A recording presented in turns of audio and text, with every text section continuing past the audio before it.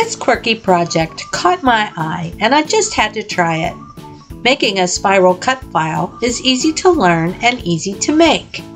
All you need is a cutting machine, a heat source, some heat transfer vinyl, and a t-shirt, tote, or other blank to apply your design to. You will also need a JPEG or PNG file with a photo or design. First go to spiralbetty.com. The process is free, but I recommend you make a donation. Click on Upload Image and choose the picture or design you would like to use. Then click Open. Your picture will appear in the circle. Use the slider to resize, then click the check mark. Across the bottom of your screen, there are a number of colors.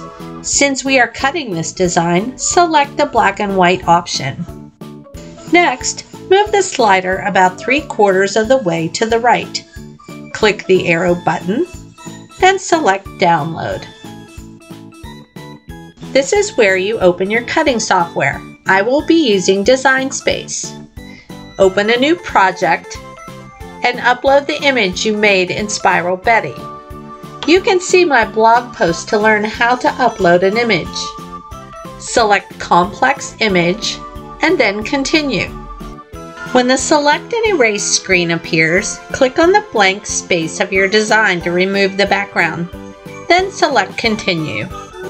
Next, choose Cut Image, then Upload.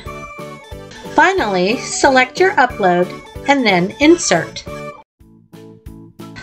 Finally, when your file opens in your new project, resize your design to anything less than 11 and a half inches. Then click Make It. It takes your machine about 10 to 15 minutes to cut the spiral. It is crazy to watch it go round and round. Once cut, find the outside end of the spiral and start to pull. You simply weed by pulling this thread around and around the spiral.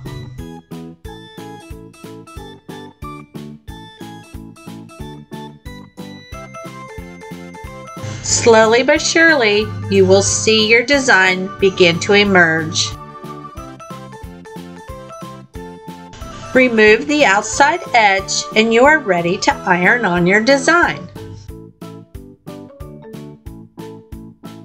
Place your weeded design face down on your t-shirt or other blank. Heat press your design, then slowly peel away your carrier sheet. And congratulations, you have created your first spiral cut.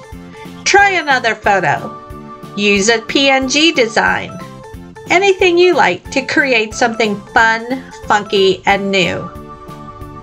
Thanks for joining me at Comfort in Crafts.